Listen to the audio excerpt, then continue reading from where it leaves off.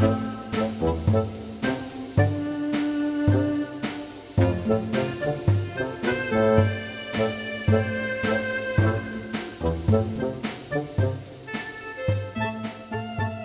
al quadrato vi porta oggi in Valpusteria, siamo a Riscone, alle porte di Brunico, siamo ospiti del Reipertingerhof, con noi c'è Martin Meyerhofer, è lui che ha creato QCart Social World, una rete con nobili scopi, tra poco sentiremo di cosa si tratta.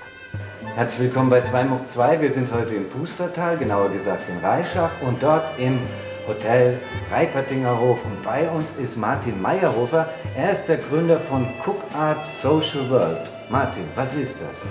Also Cook Art Social World ist ein internationales Netzwerk, was weitreichend ist. Also das geht von Korea bis Kuwait und von den USA bis Russland, ganz Europa. Und äh, es ist einfach fantastisch, da die Jungen ein Netzwerk haben, wo sie zugreifen können. Sei es in Arbeit oder sei es in Hilfe. Äh, man muss dazu sagen, äh, es besteht nicht von mir alleine, sondern es sind Spitzenköche weltweit dabei, lassen dieses Projekt international fördern. Scusa Martin, ho capito bene, c'è la questione del cibo, il mangiare e la solidarietà.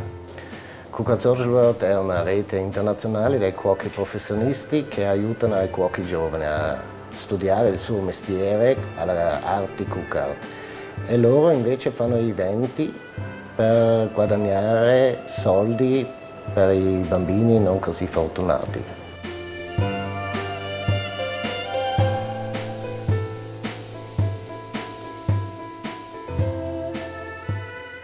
Cook at Social World ist also eine internationale Initiative von Profiköchen für junge Köche und die wiederum helfen Kindern in Not. Martin, eine super Sache, die du da erfunden hast.